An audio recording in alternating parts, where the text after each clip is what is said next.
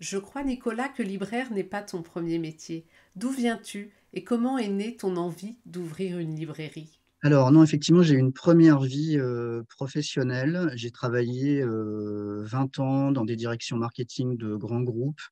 Je suis un peu arrivé dans le marketing par effraction. J'explique ça souvent comme ça, parce que j'ai une formation de géographe au départ.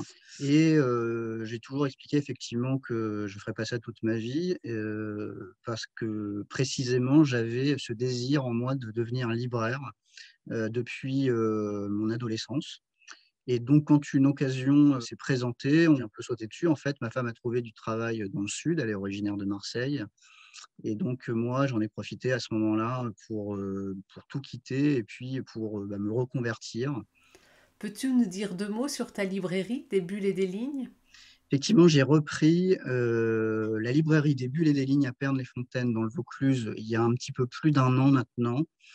Euh, Pernes-les-Fontaines, c'est euh, situé à côté de Carpentras. On est au pied du Mont Ventoux, aux portes du Luberon. C'est euh, un village qui est très charmant, avec un dynamisme associatif assez étonnant pour la taille d'une commune de 10 000 habitants.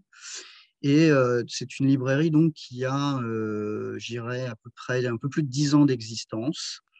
Et c'est vrai que des bulles et des lignes, euh, ça fait un peu écho à la bande dessinée. Moi, quand je suis arrivé, euh, je, m'étais dit que je changerais euh, le nom de la librairie, parce que c'est une librairie généraliste.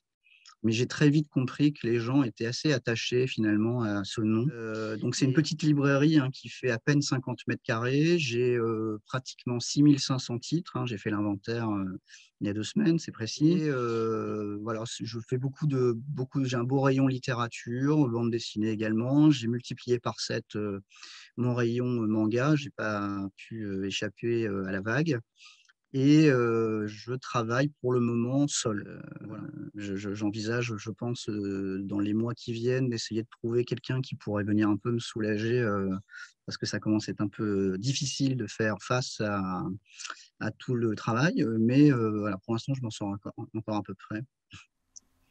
Pour ouvrir cette librairie, tu as suivi une formation book conseil au métier de libraire, puis un accompagnement. Qu'est-ce que cela t'a apporté?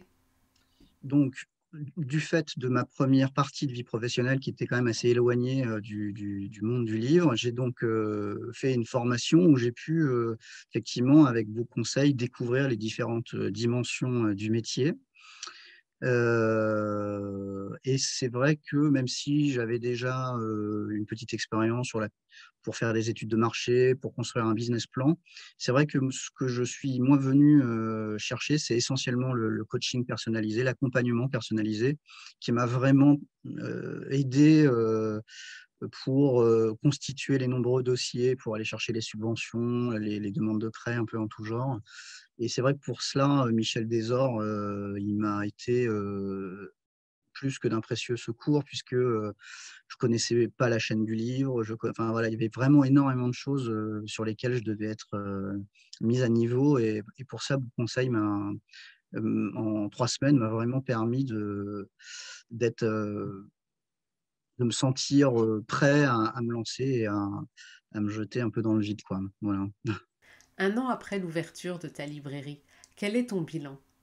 Bah, c'est un bilan qui est extrêmement positif. Alors, euh, au-delà des, très bons chiffres enregistrés, je pense que j'ai profité euh, de cette année un peu singulière, là où il y a eu un retour un peu au commerce de proximité. Et puis, euh, j'ai bénéficié de ce mouvement un peu de sympathie là, qui s'est développé pour les libraires l'année dernière, notamment avec Covid. Euh, donc euh, voilà, je, suis vraiment ravi de cette première année. Euh, j'ai un petit peu diversifié l'activité en faisant un peu de jeux de société, des puzzles, des jouets, ce qui m'a permis d'aller chercher un peu de marge supplémentaire. Donc je suis vraiment ravi de cette première année. Et je vais maintenant m'attacher à essayer de, de, redévelopper un peu un programme d'animation culturelle qui était un peu mis en stand-by sur ces deux dernières années compte tenu de, cette période un peu particulière qu'on a tous traversée. Et demain, quels sont tes projets?